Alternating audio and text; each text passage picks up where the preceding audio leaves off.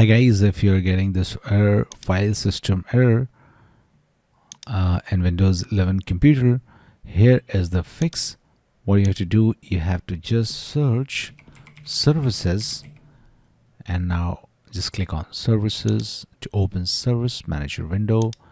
And now locate Windows license manager service. Double click on it now change the startup type as manual. If it is not manual just change it to manual. Now click on apply. Click on ok. And now restart your computer